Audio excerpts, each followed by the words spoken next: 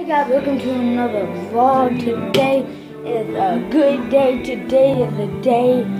Um, y'all might know this. This is a new vlog. Actually, I got a fresh haircut today. I'm gonna see if my friends like it tomorrow at school.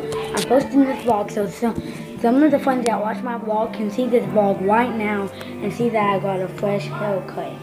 So they they said y'all I need a haircut. So this is what I did literally. I just got a haircut. And I just got out of shower. And I put my school clothes on because it is raining today. It is not a good day. Melanie's in front of me. I would go to her house right now. But it is raining and I just got ready for school. So it stopped raining, okay? So puddles everywhere, literally. And it is actually, I think,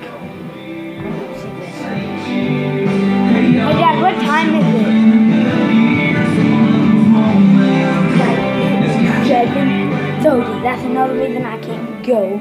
So I'm gonna let y'all go out now. Just want to show my new haircut. So have a good day, stay fresh, and hit that like button.